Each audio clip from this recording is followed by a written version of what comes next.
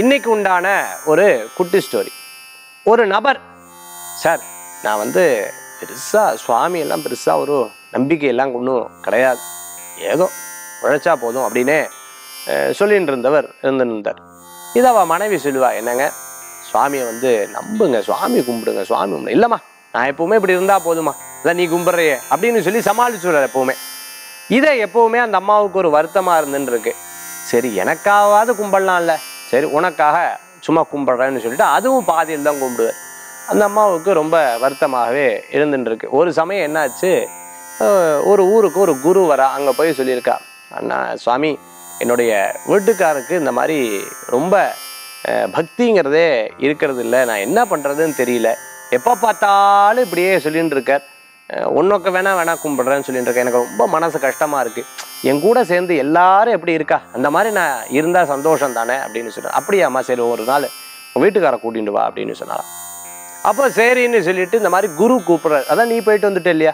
இல்லைங்க வாங்க அப்படின்னு சொல்லிட்டு நேராக கூப்பிட்றாரு. சரி கூப்பிட்ட உடனே நேராக உட்கார வைக்கிறேன் என்ன சார் நீங்கள் வந்து பக்திங்கிற விஷயத்தை என்ன நினச்சிட்டு இருக்க? அந்த குரு கேட்கும்போது அவர் சொல்கிறார் சார் பக்தி என்னோட தொழில் நன்னா பண்ணுறேன் அவ்வளோதான் நான் வாழ்க்கையில் வெற்றி இப்படி நிறையா பேர் பேசுறதெல்லாம் நம்ம பார்த்துருப்போம். அதனால் அது பெருசாக எனக்கு தெரியல சார் அப்படின்னு சொன்னால் ஓ என் உங்களோட மனைவி என்னோட மனைவி ஏதோ சுவாமியெல்லாம் கும்பிட்டுன்னு இருக்கா அப்படின்னு சொன்ன உடனே ஏதோ சுவாமியெல்லாம் கும்பிடலை. உங்கள் வாழ்க்கையில் என்னைக்காவது பெரிய விபத்துகளோ பெரிய ஒரு இதோ சந்திச்சிருக்கல அப்படின்னு கேட்கும்போது ஆமாம் சார். ஒரு சமயம் என்ன ஆச்சு நான் வந்து வாகனத்தில் போயின்னு இருக்கும்போது ஒரு ஹைவேஸில் போயின்னு இருக்கேன் போயிட்டு இருக்கும்போது பின்னாடி வந்த வண்டி ஒரு இடி இடிச்சுது. தூக்கி என்னை வீசிடுச்சு. அந்த சமயம் யாருமே கிடையாது. நானும் ஐயோ ஐயோ ஐயோன்னு கத்துறேன். அப்போது ஒரு நபர் வர நபர் வந்தோடனே அந்த இடத்துல இருந்து அவர் வந்து ஆம்புலன்ஸுக்கு கால் பண்ண டப்புன்னு எடுத்து வச்சார் என்னை கொண்டு போய் சேர்த்துனார். உண்மையாகவே சொல்கிறேன் அவர் மட்டும் இல்லைன்னா என் லைஃப்பில் இந்நேரத்துக்கு நான் உங்ககிட்ட பேசியிருப்பேனா இல்லையான்னு கூட தெரியல. ஏன்னா பெரிய யாரு அவர்தான். எனக்கு கடவுள் மாதிரி அப்படின்னு சொன்னார். இப்போ உங்கள் வாயில் என்ன வந்தது? உங்களை தக்க சமயத்தில் யார் காப்பாற்றுறாரோ உடனே கடவுள் மாதிரி நீங்கள் சொல்கிறேன் இல்லையா? இதுதான் சார் பக்தி. என்னைக்குமே நம்பிக்கை.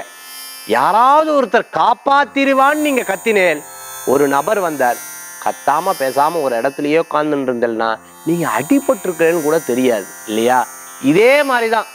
திக்கற்றோருக்கு தெய்வம் துணை மாதிரி உங்க பத்னி என்ன பண்றா? இறைவா என் ஆத்துக்காருக்கு தொழில் நன்னா கொடு என் குழந்தைகளுக்கு தொழில் நன்னா கொடுன்னு அவன் கத்தரா இறைவன்கிட்ட. இறைவன் கையை கொடுக்கிறார். நிச்சயமா வெற்றி பெற்று தூக்கி விட்டுடுவார். இதுதான் சார் பக்தி நம்பிக்கை தான் பக்தி அன்பு தான் பக்தி. அதனால நீங்க அந்த கத்துனங்காட்டி அந்த நபர் வந்து உங்களை தூக்கி கொண்டு போய் ஆஸ்பத்திரியில் சேர்ப்பார். இப்போ நான் இருக்கிறதுக்கு காரணமே அதுதான் சொன்னேன் இல்லையா? உங்க மனைவியும் அதுதான் சொல்றா. இன்னைக்கு நாங்க ஓரளவுக்கு நன்னா இருக்கணும்னா அந்த இறைவன் தான் காரணம்னு சொல்றா. அதுல எந்த வகையும் மாற்றம் கிடையாது. அதுல இருந்து அவருக்கு ஒரு பெரிய விழிப்புணர்வு வந்துச்சு. ஆஹா உண்மைதான குரு சொல்றது?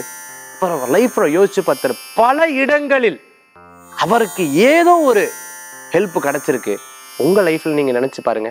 நிறைய விஷயங்கள்ல நம்ம கூட இருந்து பெரிய அதிசயிக்கக்கூடிய விஷயம் எனக்கு நடந்திருக்கு உங்களுக்கும் நடந்திருக்கும். அதே போல இறைவனை பிரார்த்தனை செய்வோம் வெற்றி அடைவோம். இதை இன்னைக்கு குட்டி ஸ்டோரி ரொம்ப பயனுள்ளதா இருக்கும்னு நினைக்கிறேன்.